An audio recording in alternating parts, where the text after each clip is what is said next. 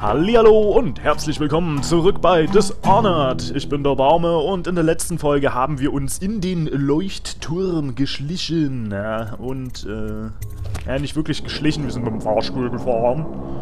Und jetzt gucken wir mal, wen es hier so gibt, nicht wahr? Ey, wieso hab ich denn so arsch viele Elixiere? Zehn Stück und ein Haufen Mana-Tränke. Ich bin hier nur am rumrennen, kampeln, schnetzeln und pfeife mir ein so ein Ding nach dem anderen rein und ich habe immer noch genug. Das gibt's doch nicht. Was ist denn das? Ach, ach, es regnet. Okay, alles klar. Ich dachte schon, hier steigt irgendwelcher Dampf auf. War da oben was? Nee. Hier ist auch nix. Das ist gut. So ist... Ja, davon, davon hätte ich gern... Noch ein... Ey, was, was denken die denn, wie schlecht ich bin? Ist hier was Nettes? Weil du die Kaiserin bist. Oder warst. Ich vermute es mal. Ich habe so ein Gefühl.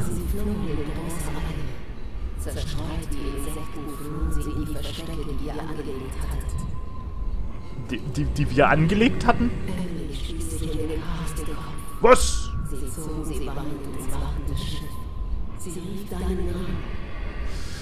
Corvo! Warte mal kurz, geht gleich weiter. Ich, ich, will jetzt mal lesen. Der Leuchtturm, Auszug aus einem neugeschichtlichen, aus einer neugeschichtlichen Arbeit für die Insel Kingsparrow. Die Insel Kingsparrow befindet sich inmitten von Ray, Wrenhaven und wird bis zum letzten Jahrhundert nur für Fischer und gelegentlich religiöse Zeremonien be bedeuten. Bedeutung, von Bedeutung! Kann heute echt äh, kein Lesetag. Habe ich schon in der letzten Aufnahmesession gesagt. Während des Morley-Aufstandes wurde eine Festung und ein Anleger errichtet, um die Stadt vor Angriffen vom Meer zu schützen. Während der Krise durch die Seuche kurz nach dem tragischen Tod von Kaiserin Jessamine Caldwin ordnete Dunwards Lordregent Hiram Burroughs den Bau eines modernen Militärpostens und eines Leuchtturms auf der Insel an. Burroughs erster vor kurzem fertiggestellter Leuchtturm wird weithin als eines der Wunder neuzeitlicher Technik angesehen, voll von Sokolows Erfindungen und angetrieben mit feinstem Walöl. Hm. Gut, mein Herz, was hast du mir zu sagen? Ach so, das hatten wir schon.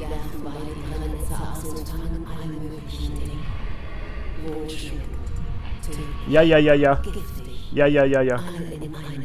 Ja, ja, ja, ja, hatten wir schon. Ich darf nicht reden, aber ich kann hier raufklettern. Das ist cool. Ich kann mal den ins Mikro pupsen. Der nächste, der sich ranstellt... Ich klapper erstmal hier unten alles an. Oh, ich dachte gerade, das wäre... Ich hatte gerade Angst, das wäre Emily. Aber die war hier anscheinend. Kaiserin Jessamine Caldwin. Viele von uns, die unter ihrer Herrschaft gelebt haben, werden bis ans Ende ihres Lebens über die blasse Schönheit mit den stechenden Augen und das schändliche Ende, das ihr eigener, durchtriebener Diener und Schutzherr über sie gebracht hat, trauern. Zu Zeiten ihres Vaters traten die Caldwins ins Rampenlicht des Hofes, weil die vorige Dynastie keine Erben hatte. Dem neuen Kaiser folgte eine Zeit des Wohlstands, doch seine Tochter hatte wenig Glück. Während ihres kurzen Lebens verursachten politische Intrigen und kleinere Konflikte Risse im Kaiserreich, wodurch die Einheit der Inseln untergraben wurde. Die Seuche war jedoch ein Schrecken, auf den weder Kaiserin Caldwin noch irgendjemand sonst vorbereitet war. Doch einer war vorbereitet, ein einziger Mensch, konnte sich darauf vorbereiten. Aber der ist bereits hinter Dach und Fach. So, ein Stückchen Wasser. Ja, Schüssel zumachen. Liegt was in der Wanne? Auch nicht. Gut, ich würde sagen, hier unten haben wir alles abgeklappert. Abgeschlabbert. Es geht noch weiter. Ja, hier waren wir schon. Das ist der Serverraum. Ja. Auch hier gibt es Serverräume. Ja, wo ist der denn? Wo, wo, ist, wo ist denn der Typ? Es ist ja wo ist er denn hin? All die Dinge, die wir getan haben, feige Taten, derer ich mich schäme. Wie könnten sie uns jemals vergeben? Würden sie es, wenn die Lage besser wäre? Nein, so laufen die Dinge nicht, wenn sich einmal die Bürokratie eingeschaltet hat. Es wird kompliziert. Wenn es jemand erfährt, verlieren wir alle unseren Kopf. Niemand darf es erfahren. Könnten wir Emily kontrollieren, wenn Corvo dabei ist? Diese Frage werde ich nicht los. Zeit für unseren letzten Zug der muss sitzen. Keine offenen Fragen. Nur wenige Mitwisser, die, die am meisten zu verlieren haben. Tja, Und was habt ihr verloren? Euer Leben. Alter, das fällt mir jetzt erst auf. Hier sind ja ein Haufen... Hä? Komm, hä? Alter. Das Blut! Das Blut ist mir jetzt erst aufgefallen. Was, was ist los? Krass. Krass. Von hier weggeschliffen oder was? Oh, hier eine übelste Pfütze und dann die ganze Treppe rauf. Hier geht's weiter. Hä? Komm, kommt das etwa von mir? Nein. Und hier draußen hört's auf. Und dann hat's der Regen weggewaschen. Krass. Ich glaube, ich glaube, Emily hat sich den Kopf gestoßen. Die kann doch unmöglich so viel Blut verlieren oder hat irgendwer Havelock gehauen. Havelock heißt er, ich habe seinen Namen vergessen. Ohne Corvo hätten wir es nicht geschafft und darüber bin ich dankbar. Aber ich fürchte, er teilt nicht unsere Vision von Dunwalls Zukunft. Mit einem Mädchen als Steuerruder der Politik werden wir nicht in unserem Sinne, hä? Werden wir nicht in unserem Sinne über Dunwall herrschen können. Und ich habe das Gefühl, dass Corvo Loyalität gegenüber der Caldwin-Frauen seinen Vorstand, Verstand benebelt. Ist sie wirklich seine Tochter? Wir werden Donwell zum Höhepunkt seiner Macht führen, doch die Rolle, die Corvo dabei spielt, darf niemals bekannt werden. Er muss verunglimpft werden, und wenn ich dann die Herrschaft über die Stadt an mich reiße, werde ich es sein, der als Held und Schutzherr angesehen wird. Havelocks Tagebuch, sechster Eintrag. Ach, das sind die ganzen Einträge von Havelocks Tagebuch. Also die werde ich mir auf jeden Fall offscreen durchlesen. Darum scrolle ich jetzt mal hier zum sechsten, fünfter, vierter, dritter, zweiter, erster. Bumm. Aber jetzt äh, nicht. So. Okay, ich mach mal einen Quicksave, weil ich glaube, gleich wird's episch. Du warst das? Und beweg dich endlich, Kind. Alter Schwede, was macht der da mit der? Will der die da runterschmeißen? Alter, nein! Nein, nein, nein, nein. Nein. Okay, weißt du was? Ich, ich nehme schon mal, was auch immer passiert, es ist immer gut, die Zeit anzuhalten. Oh, warte. Warte, warte, warte. Ich will mich ihm nicht stellen. Kann, muss ich mich ihm stellen? Kann ich mich vielleicht irgendwie, irgendwie anschleichen? Wenn ich jetzt hier einfach nur tölperhaft drum rumrenne, dann sieht er mich. Und dann, dann kann er machen, was auch immer er geplant hat. Und er plant viel. Er hat im...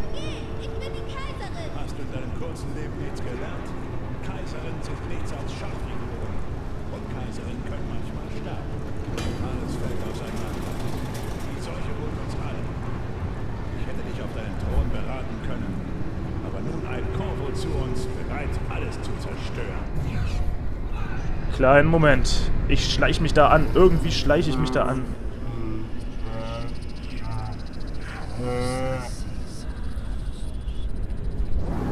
Ha, vielleicht.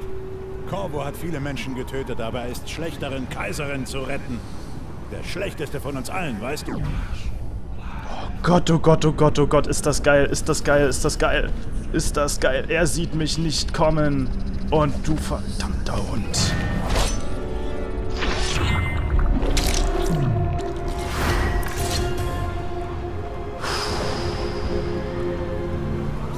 Gewusst, dass du kommst. Du bist mein Held. Die anderen sind alle tot, oder? Yep. Ist in Ordnung. Ich hätte eh alle hinrichten lassen. Ich werde die Kaiserin sein.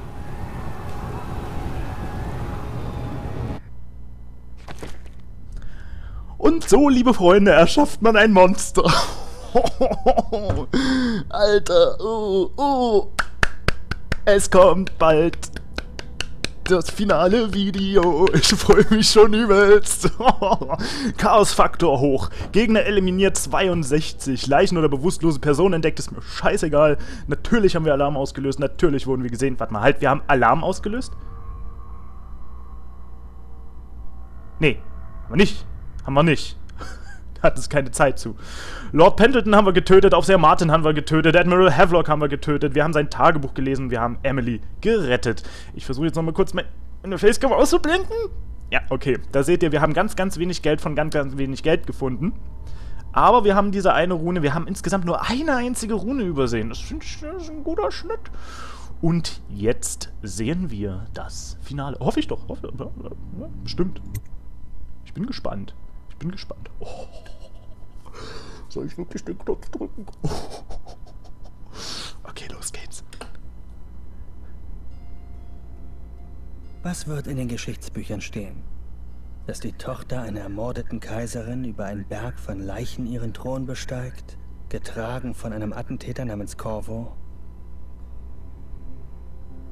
Nein. Sie werden berichten, dass Emily Caldwin I.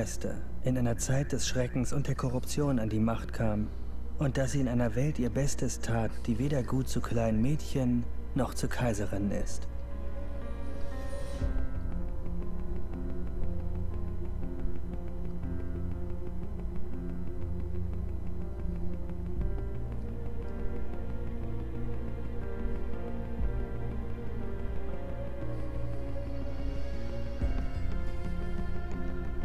Samuel. Hey. Was machst du jetzt überhaupt? Aber ob die Geschichten dich beim Namen nennen oder nicht, sie wird sich an dich erinnern, Corvo.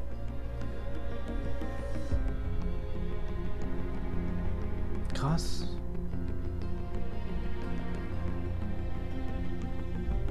Ey, das ist gar nicht so düster, das Ende. Ist es gar nicht.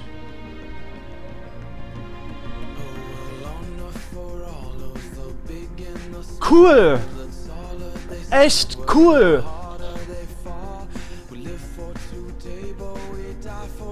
Ich traue mir jetzt nicht einen Knopf zu drücken, um meine Facecam einzublenden, nicht, dass das äh, Outro dann weg ist. Aber ja, das war Dishonored. Das war Dishonored auf chaotisch. Ich weiß nicht, ob es das chaotischste chaotisch ist, weil am Anfang haben wir uns ja noch zurückgehalten, aber ich glaube, das ist. Ich glaube, wir haben, wir haben, wir waren super böse.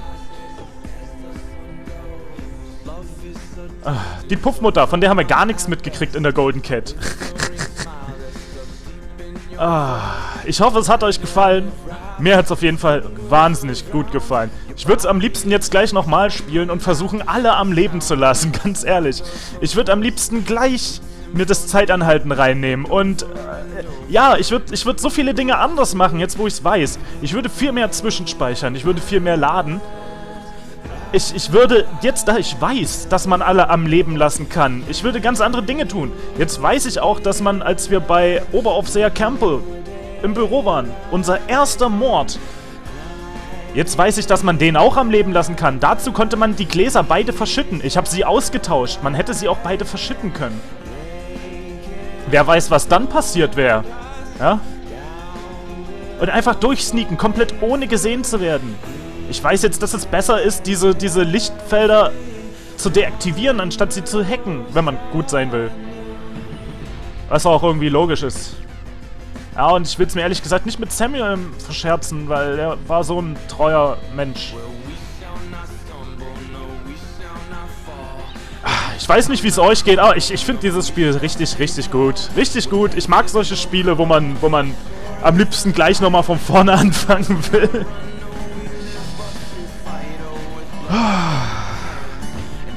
Ich hoffe, es hat euch genauso beim Zuschauen genauso einen Spaß gemacht wie wir. Und ihr habt euch auch ein paar Mal erschrocken.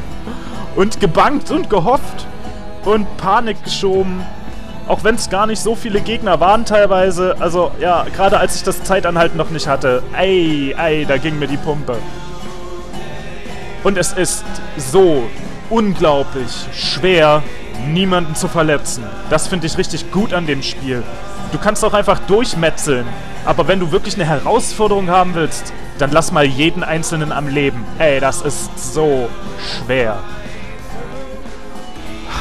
Sagt mal Bescheid, wenn, wenn ihr es schafft.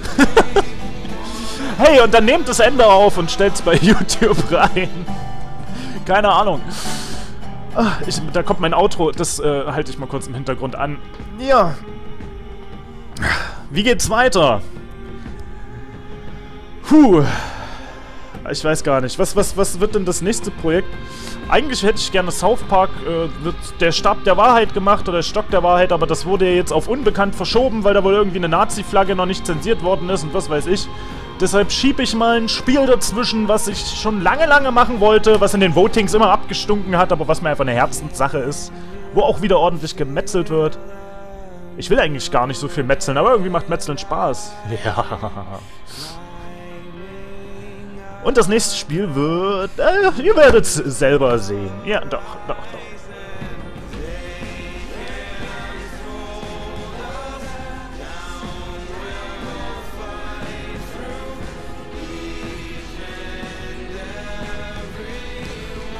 Ja, ich lasse mal noch die Credits durchlaufen in aller Ruhe. Ach so, da fällt mir gerade ein, ich habe irgendwas vergessen. Ich hatte was ganz Schwerwiegendes vergessen. Das habt ihr mir auch alle schon gesagt. Und ich hab's, ich hab's sogar schon aufgenommen. Das wird auf jeden Fall das nächste Projekt. Es geht, äh, ja, beim nächsten Projekt weiter mit The Walking Dead. Was, wie? Walking Dead? Hatten wir doch schon. Ja, stimmt, The Walking Dead 400 Days. Das ist ein Add-on und das habe ich gespielt. Und ich muss sagen, es ist äh, irgendwie, ich weiß nicht, äh, es ist halt, äh, es ist halt ein DLC. Ja? Äh, man darf nicht zu viel von DLCs erwarten. DLCs sind keine Spiele. Das Spiel hat man ja quasi schon, man hat es auch gespielt. Darum sind die immer sehr kurz. Und ich mag so viel kompakt auf einen kleinen Haufen einfach nicht.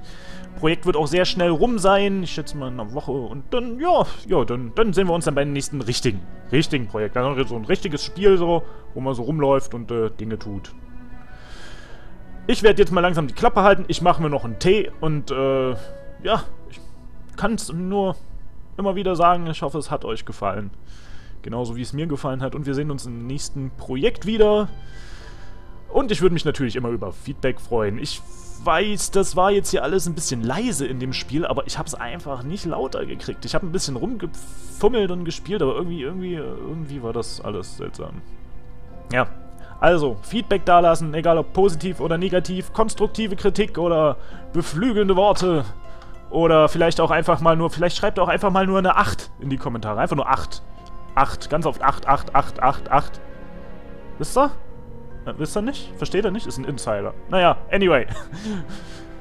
Ich mach mich vom Acker. Wir sehen uns im nächsten Projekt. Bis es soweit ist, sage ich, ich bin Torbaume. Auf Wiederschauen. Ihr seht mich jetzt gar nicht, ne? Auf Wiederschauen und reingehauen. Pfft. Cheerio!